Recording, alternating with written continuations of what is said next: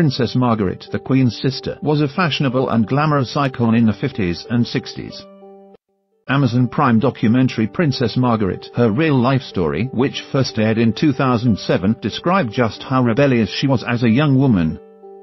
The film states on duty she was obliged to do nothing but smile and make impersonal small talk, a royal whose only role was to be glamorously aloof. Her rebellious acts included smoking in public and enlivening society events by showing off her film star cleavage. No wonder she began pushing at the barriers.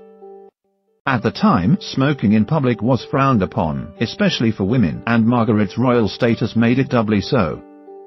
Sadly, smoking would contribute to her ill health and ultimate death from cardiac problems in 2002. However, defined until the end, she would still be pictured smoking cigarettes during her last illnesses. In more recent years, it has still been somewhat controversial for a member of the royal family to seen smoking. Prince Charles famously abhors the habit and encouraged Camilla Duchess of Cornwall to successfully give up.